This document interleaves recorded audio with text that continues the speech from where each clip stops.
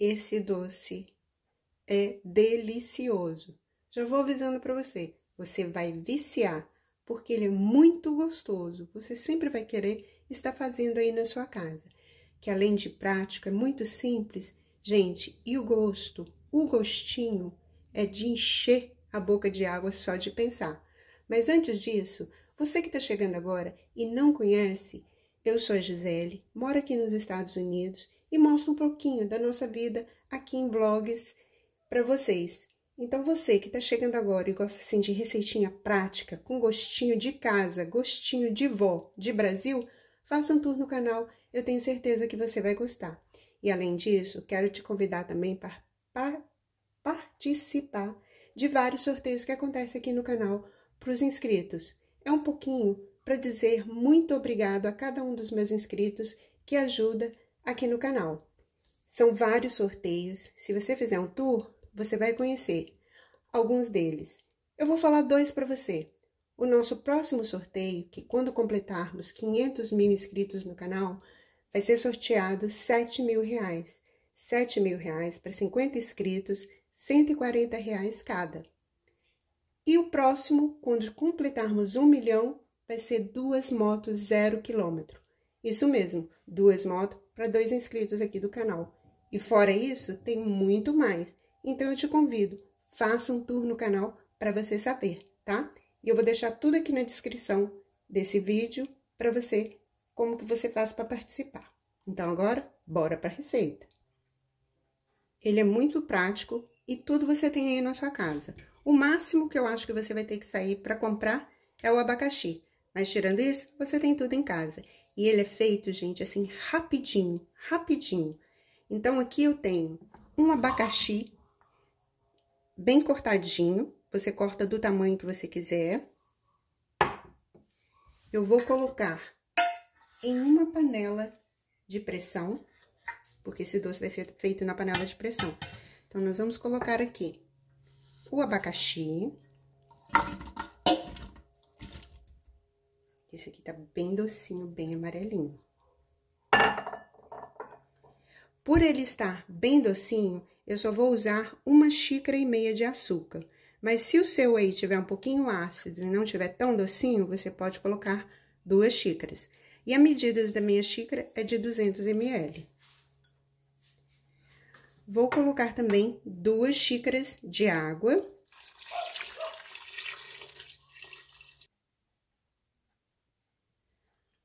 Vou colocar também cravos da Índia. Se você não gosta de cravo, não precisa, você pode usar canela ou pode usar até os dois. Eu vou usar só o cravo. Vou usar também 100 gramas de coco ralado.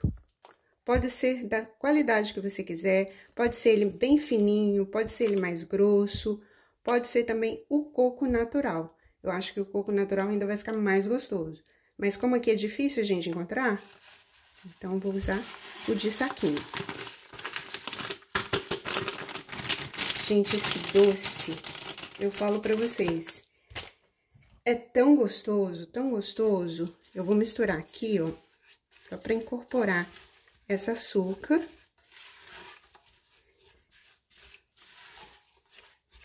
Vamos misturar bem misturadinho. Só isso.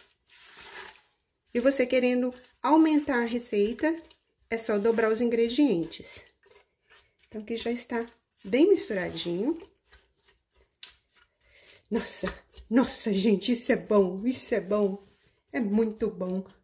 Então, agora, eu vou levar ao fogo.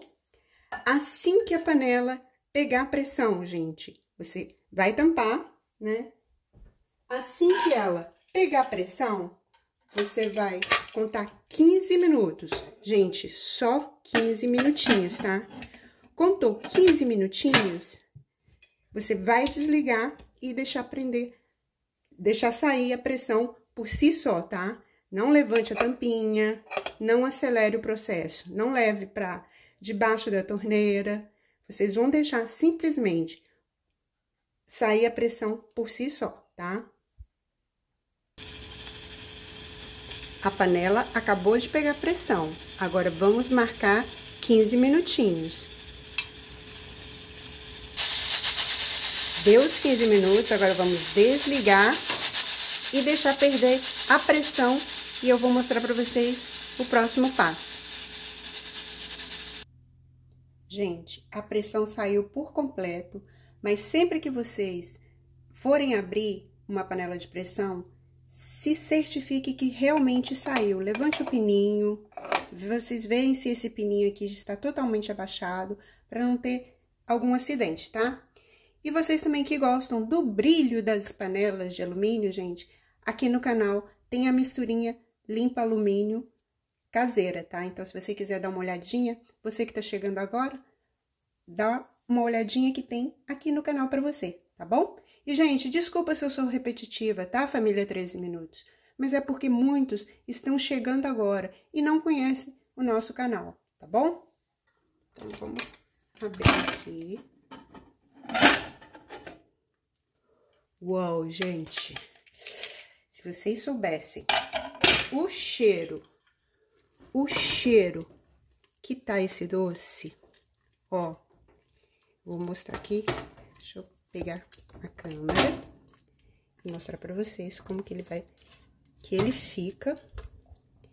Agora aqui, eu vou deixar um pouquinho mais no fogo, só pra engrossar um pouquinho mais essa calda, tá? Mas se você gostar dele já assim, só assim, gente, já é maravilhoso. Mas eu vou deixar engrossar um pouquinho mais. Uma coisa assim, de uns 5 minutinhos. E você também que tá chegando agora e sempre me pergunta, que barulhinho de água é esse? É uma fonte, tá, gente? É uma fonte de água que eu tenho aqui no cantinho da minha cozinha. E aqui está o nosso doce. Olha que coisa mais gostosa. Então, vocês podem colocar numa compoteira, pode colocar num vidro e guardar na geladeira. E sempre você vai ter, assim, aquele doce gostoso. Bateu vontade? Tá aqui, gente, ó. Olha que delícia. Ele não fica muito doce.